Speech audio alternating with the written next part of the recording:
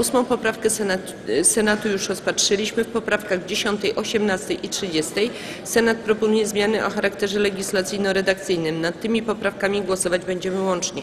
Komisja wnosi o ich przyjęcie. Przystępujemy do głosowania. Kto z Pań i Panów posłów jest za odrzuceniem poprawek Senatu 10, 18 i 30, zechce podnieść rękę i nacisnąć przycisk. Dziękuję. Kto jest przeciw? Dziękuję. Kto się wstrzymał? Dziękuję.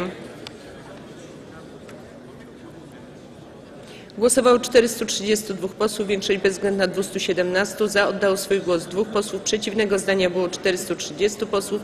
Przy braku głosów wstrzymujących stwierdzam, że Sejm wobec nieuzyskania bezwzględnej większości głosów poprawki Senatu przyjął.